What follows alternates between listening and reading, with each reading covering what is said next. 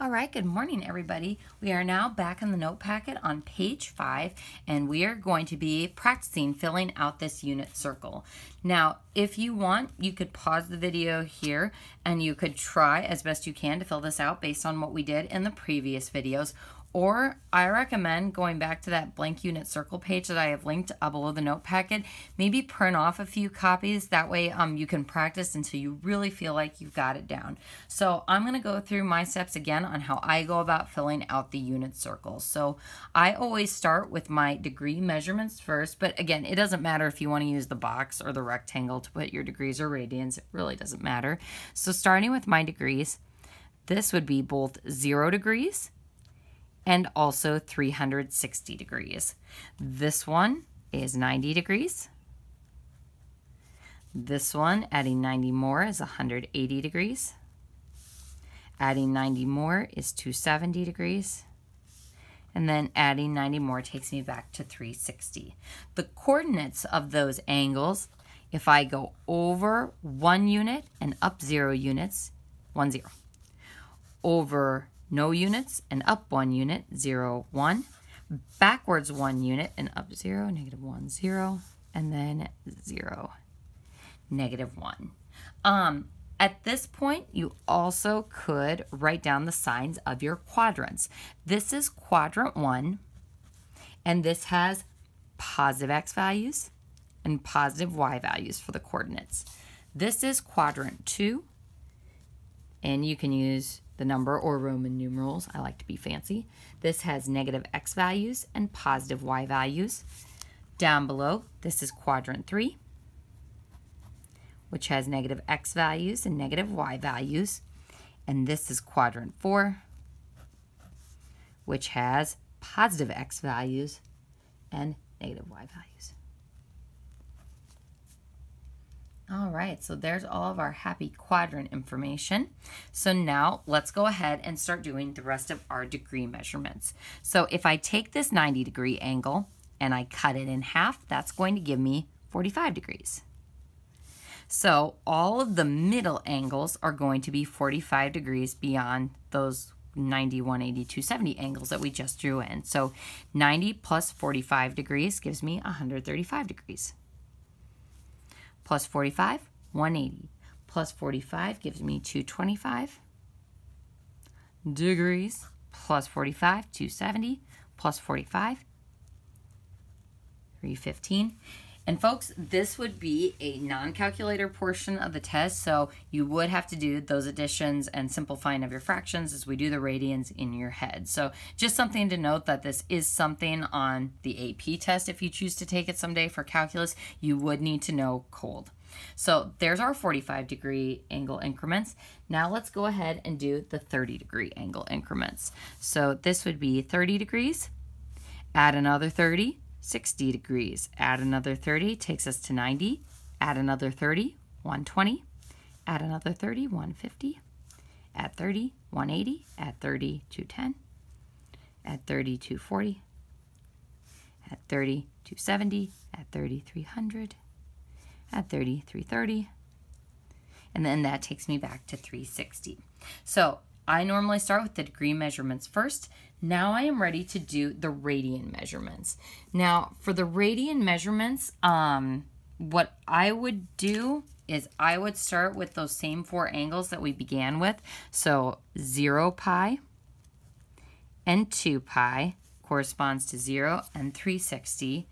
If I take 2 pi the whole circle and I cut it in half, that means this would be pi. Just like 180 is half of 360, pi is half of 2 pi. If I take this angle and cut it in half again, that gives me pi over 2. So that means I'm going by half pi's all the way around. So 0 pi, half pi, 1 pi, 1 and a half pi, or 3 pi over 2. All right, so now I'm going to move to the 45 degree angle measurements, just like I did with the degrees, and then the 30 degree measurements. So if I look at the 45 degree measurements, and I'm going to try to draw what I was talking about in the last video. If I take this whole pie, this whole half circle, and I divide it into these 45 degree increments, we can see that I have one, two, three, four slices. So hopefully you can kind of see what I mean there. So four slices that I'm dividing this half circle into. So if I have pie and I'm dividing it into four pieces, then each of those pieces is a fourth. So that means this is pi over four, one pi over four, two pi over four, which simplifies to be a half, three pi over four, and then 4 pi over 4, which simplifies to be 1. Then 5 pi over 4. 6 pi over 4, which simplifies to be 3 pi over 2. 7 pi over 4, and then 8 pi over 4, which simplifies to be 2 pi.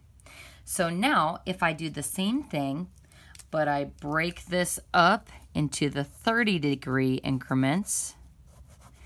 Now we see that we are taking that 1 pi and dividing it into one, two, three, four, five, six pieces. So these increments are going to go by 6.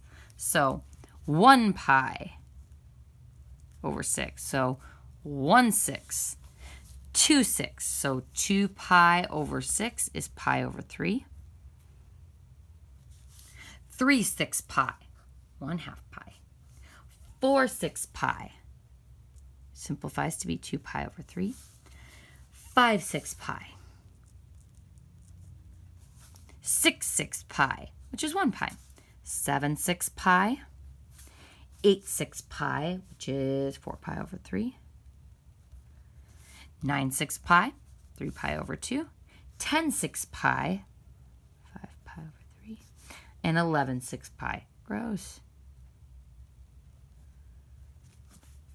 Oof. So now we have all the radian measurements. So being sure that you simplify each of those fractions. So next we are ready for the coordinates. So some students go through and they put those denominators of two everywhere. So you can go ahead and do that if you want. Um, I'm going to go ahead and do that for the first quadrant. So we know that all of these will have denominators of 2.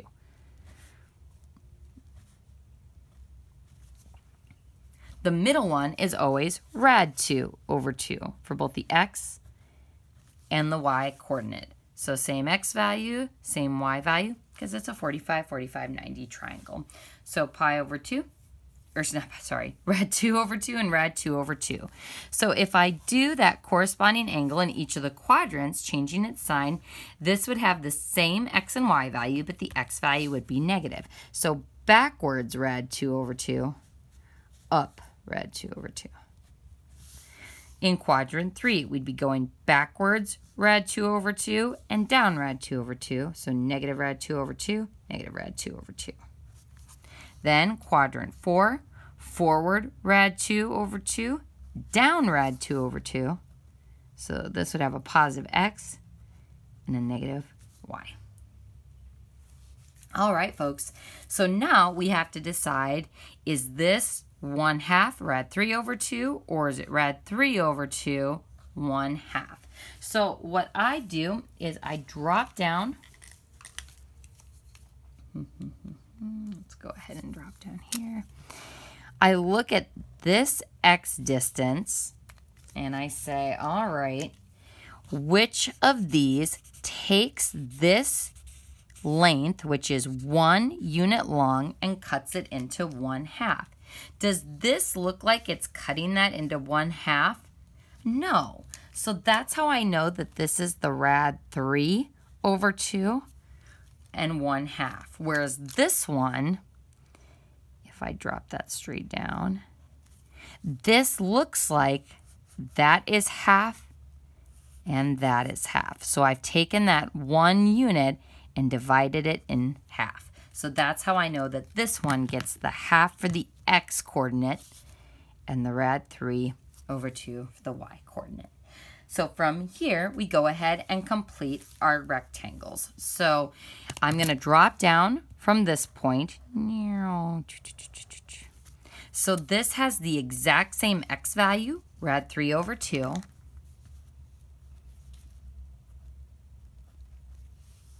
But instead of going up one half, we're going down one half, so negative one half. Then I'm going to go straight over to the next point. So this point has the same drop down distance of negative one half.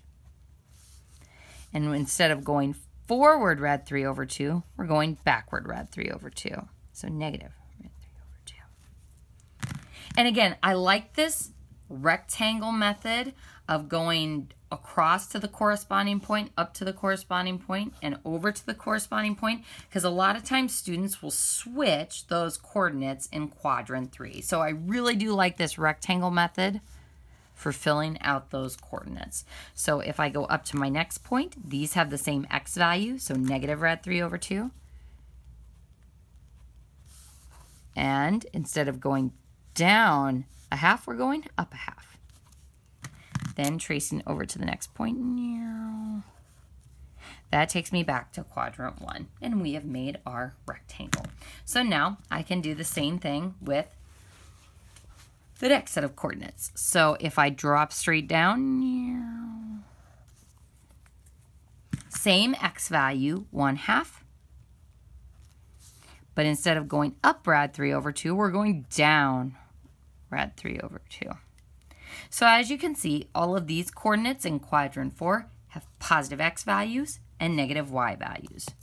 We go straight across to our next point. This has dropped down the same amount, so down rad 3 over 2. But instead of going forward 1 half, we have gone backwards 1 half, so negative 1 half. Notice that everybody in quadrant 3 has both a negative x and a negative y value we go up to our next point. And we have gone backwards one half. That's why they are stacked on top of each other. But we have gone up, rad 3 over 2. So notice everybody in quadrant 2 has a negative x value and a positive y value. If we go straight across, we complete our rectangle, and that takes me back to that other point. So folks, this is what you will need to be able to do. You will need to be able to generate. You will need to have memorized. So, um, normally, if we were to take a test over this chapter, on the test, you would generate from a blank unit circle, just like we did here, the whole thing, and then use that to do calculations like we will be doing in the problem below. Now, a few other things that we are going to add as part of the memorization of the unit circle is the last thing that we talked about on that blank one, which is that the xy coordinates, the x value corresponds to cosine of the angle, and the y value corresponds to sine of the angle. Also, tangent of theta is equal to y over x or sine theta over cosine theta.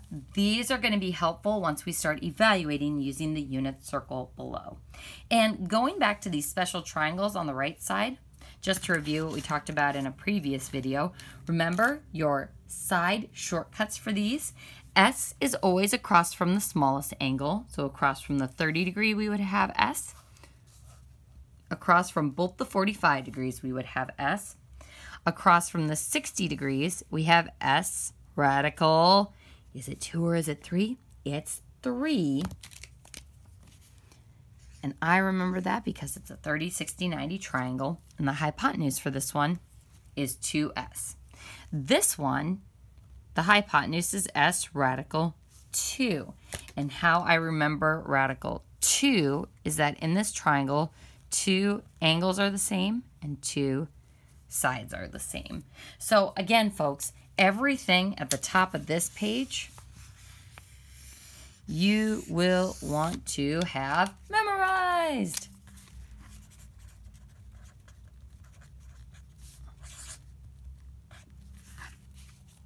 So we're going to go ahead and stop with this video before we move on to the eight problems below because I really would recommend that you practice drawing, gosh, maybe two of these unit circles um, just to make sure you've got it down on how to fill out the whole thing. So there is um, a blank one in your homework packet for this chapter that you will need to fill out.